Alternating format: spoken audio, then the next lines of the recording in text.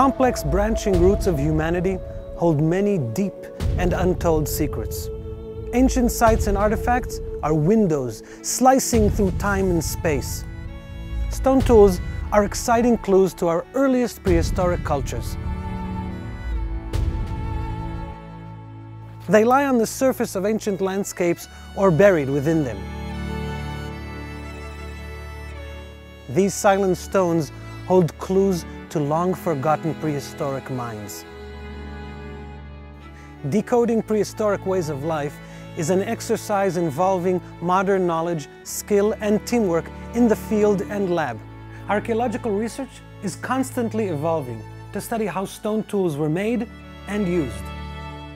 The oldest stone tools were found in East Africa and are 3 million years old. Stone was shaped into different forms and used for over a million years.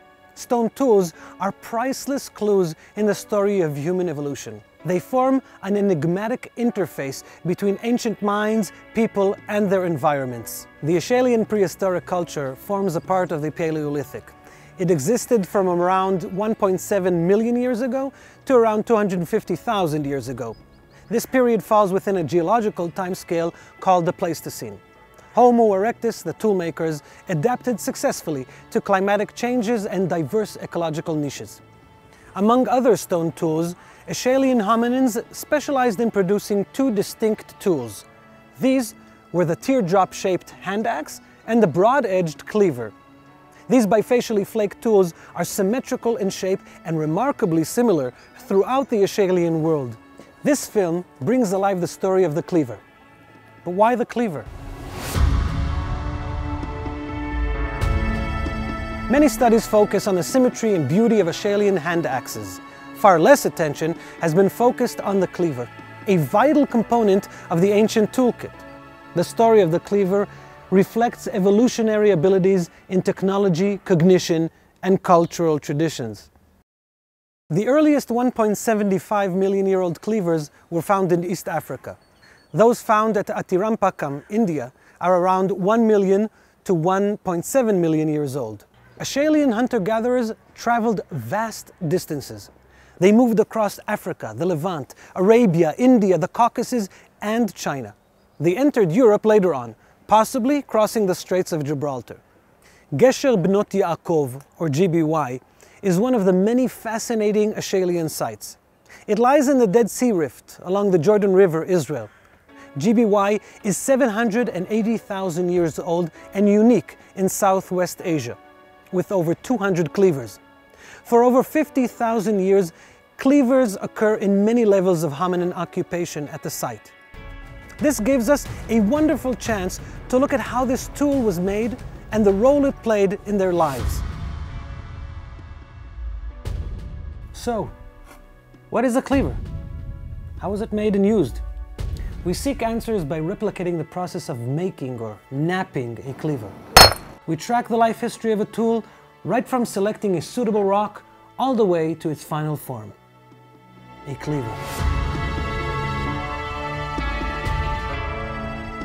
Cleavers were made of different raw materials, such as basalt, quartzite, limestone, flint, obsidian, and granite. These occurred as boulders, cobbles, or slabs. Archaeologists use specific terms to describe cleavers.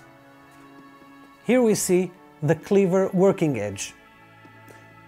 This is the base of the cleaver. Here we see two lateral edges.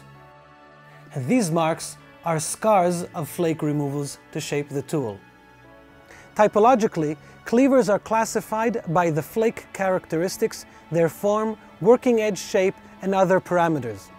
The unique characteristic of the cleaver is its straight working edge. This edge lies at the junction of the flat dorsal and ventral surfaces that intersect at an acute angle. Cleaver working edges were shaped to enable an optimal shearing configuration similar to that of a butcher's knife. The edge facilitated controlled penetration. This allowed efficient slicing or cutting actions in meat or wood. Variation in shape reflects function, skill levels, and tradition. At the quarry, Acheulean hominins knew exactly where suitable rocks for cores and hammerstones were located in the landscape. The selection of suitable rocks and hammerstones was vital for successfully making a cleaver. When they were satisfied, quarrying began. Sounds of the quarrying and ancient conversation fill the air.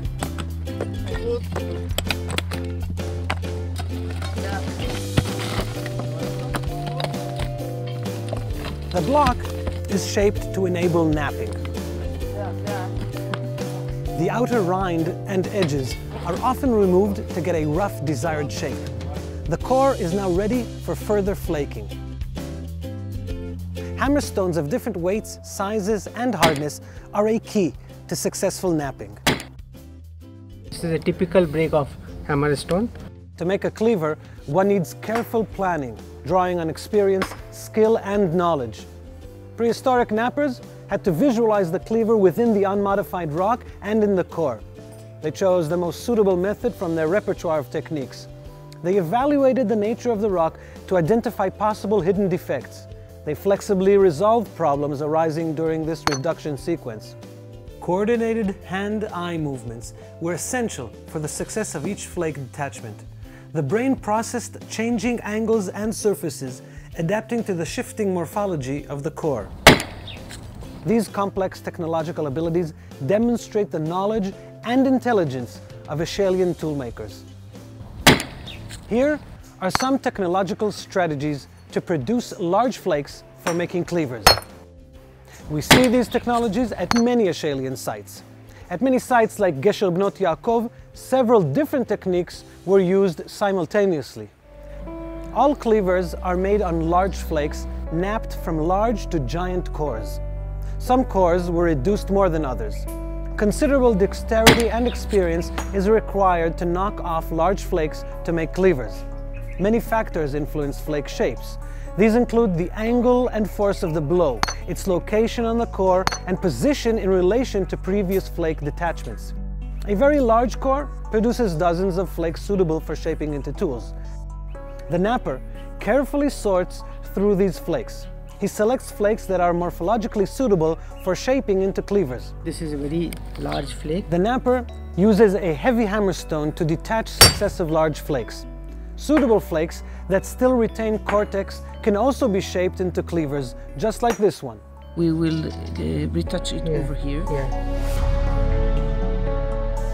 Let us have a look at some methods for producing large flakes. The cores are flaked bifacially. One flake scar serves as the striking platform for the next detachment. This process is repeated sequentially. Kombewa cores. This technology involves detaching a very large flake from a core. Then, the flake was used as a core to detach a predetermined flake. I'm trying to create a platform and then I'll give a blow somewhere here and that should be okay. Many of the cleavers are made on Kombewa flakes. You actually see two ventral faces. We have a striking platform, a bulb of percussion, and a lenticular cross section. The shearing area is okay, everything is ready. Slicing technology.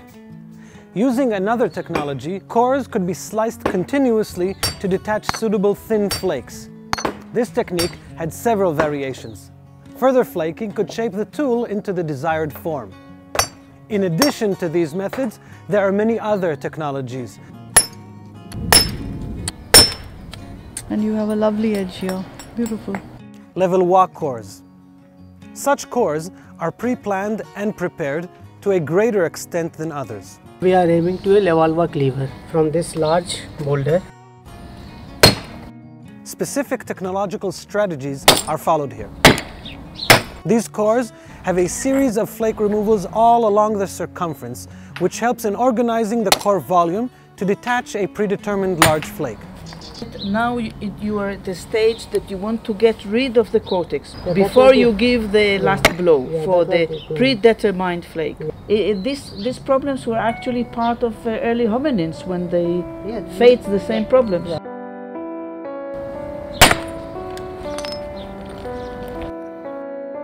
this one was going to be a cleaver, and it was going to be there from the moment that the person struck the big flake.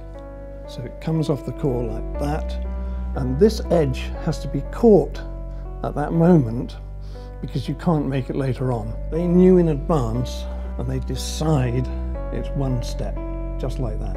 I think they were very sophisticated technically. Uh, they were expert stone knappers. Um, they organized their world in a very effective way. They were using expert cognition. And this is a form of cognition that we still use today when we make and use tools. Now that we have a large predetermined flake, let us explore how hominins shape the flake into a cleaver. The cleaver has to have a wedge-like morphology at its distal end, forming the cutting edge of the tool. In order to obtain this particular configuration, the knapper has several options. This is a Levallois flake. You can see that the directions of the previous scars on the core. This is the edge because it's straight and has uh, two faces. If I flip it over, I can see the striking platform and the bulb of percussion and the direction of the energy inside the flake.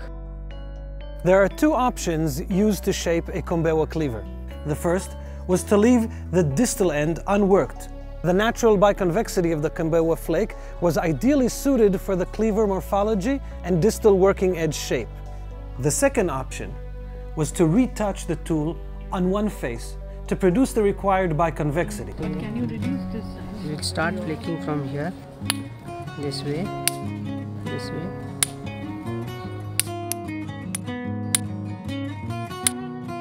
Delineated. We have a Kombewa flake. We see one surface of the ventral face. This is another ventral face, striking platform, the bulb of percussion, another striking platform, another bulb of percussion, and the cleaver working surface, which is delineated by a retouch all over here. A triangular, unretouched Kombewa surface was retained at the distal working edge. The base of the triangle was the working edge. The vertex formed the farthest point from the edge, generally located at the thickest part of the flake. On achieving the overall shape of the cleaver, distal or cutting edge, the knapper began to retouch the tool. He could choose to retouch both lateral edges and the base. I will shape from along this line and along this line and I'll make it a little rounded. Ventral surfaces were retouched to thin the striking platform and the convexities of the bulb of percussion. This is a classical cleaver. When you flip it over, you can see that the striking platform was removed. Hominins selected either one or both faces to retouch. Acheulean cleavers at GBY have minimal retouch, confined to one or both edges. Cleavers made on large flakes disappeared from the Levantine Acheulean sites and in most parts of the world around half a million years ago. In India, a few cleavers continue into the early Middle Paleolithic around 300,000 years ago. Why did cleavers disappear? Or did they? The modern butcher's knife, in particular, is the best analogy to the cleaver. The large, straight working edge of the cleaver and its wedge-like morphology is ideal for meat processing. The cutting edge of our cleaver slices through time and space. Its complex technology implies sophisticated planning and expertise. Traditions of making cleavers were taught and shared over thousands of generations. Did this communication require full language abilities? Does it suggest more modern behavior than we presume? We leave you behind with a world where sounds of stone on stone filled the air, where knappers shared tips and tricks to master rocks, and where function and beauty were united in stone.